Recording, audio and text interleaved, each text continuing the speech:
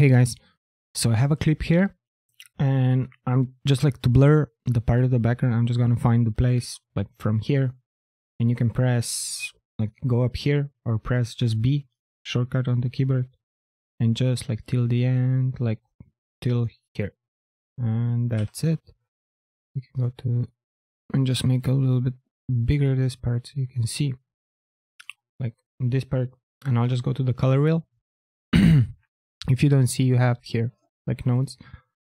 And to make a new node just press alt and s to add another serial node.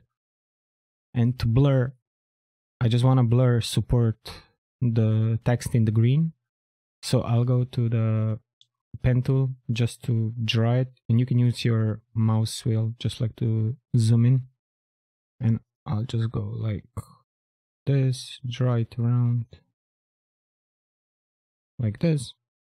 If you want to blur everything else out, you can just press this button to invert the selection and you can see it up here.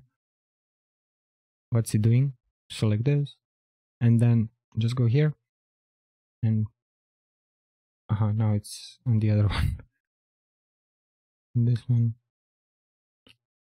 And you can just blur it if you want like the part of the image if you want it like this and now it's gonna be in the blurred out this part.